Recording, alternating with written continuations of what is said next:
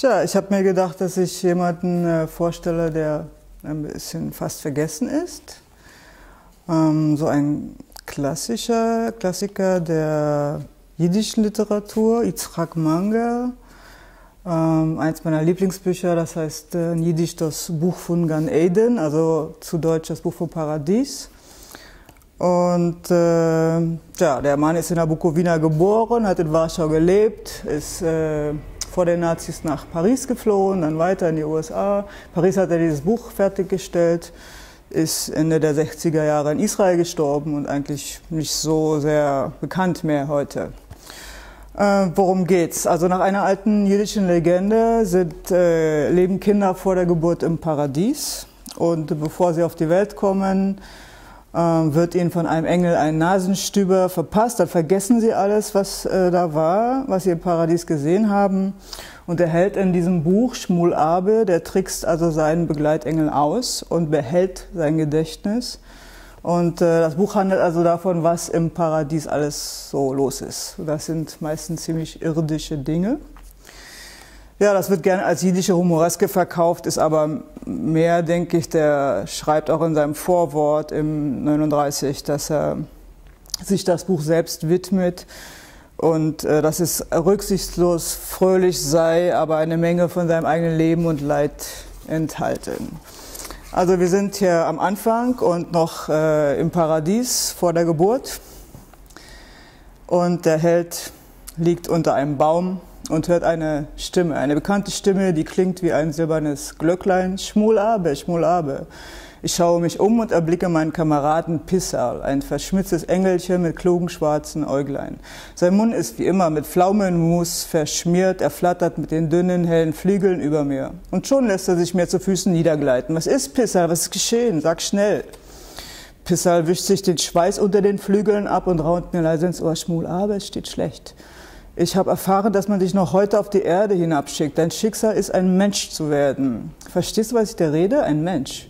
Das Herz beginnt mir zu pochen. Was redest du, Pisser? Wer hat dir das gesagt? Woher weißt du das? Und Pisser erzählt mir, dass er gerade an der Paradiesschenke zum Zadik Noah vorbeigeflogen war. Zadik ist ein Heiliger.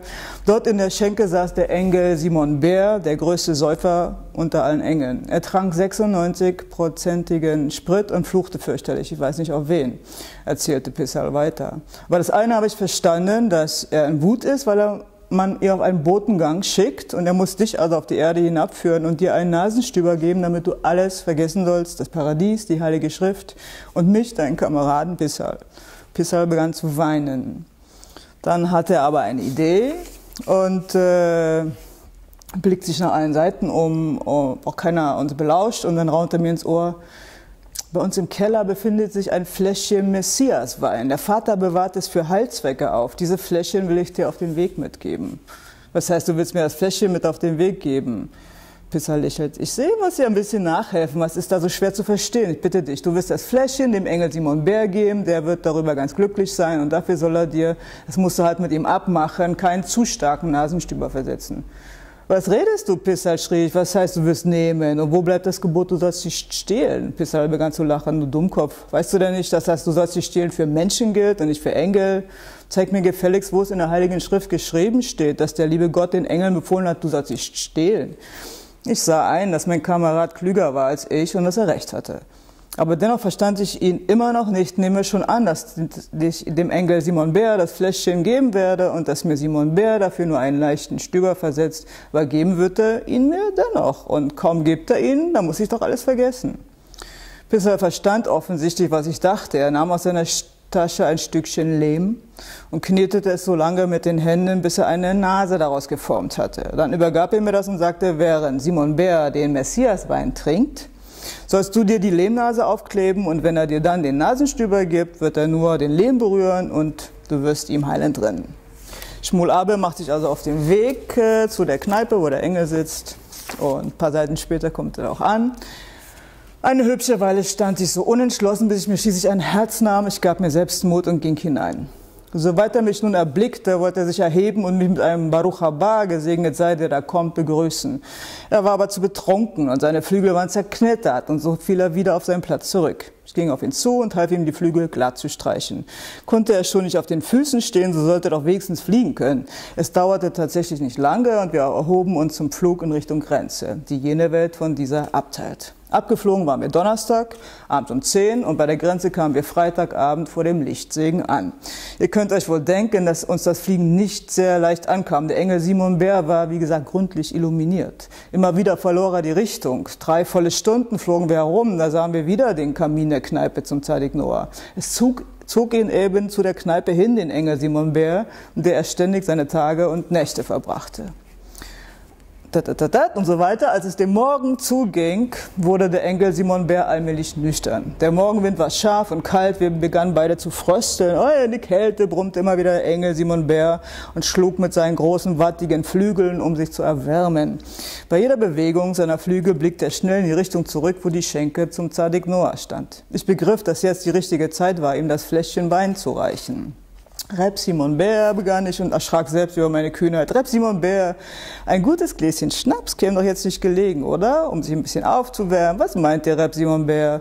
Beim Wort Schnaps klatschte der Engel Simon Bär mit seinen wattigen Flügeln und erschreckte dadurch ein paar blaue Paradiesschwalben, die sich gerade anschickten, dem Schöpfer ein Loblied zu singen. Schnaps, oh, ein Gläschen Schnaps, schrie er mit solcher Stimme, dass zehn Paradieshasen vor Schreck in Ohnmacht fielen und zwei Löwinnen vorzeitig niederkamen.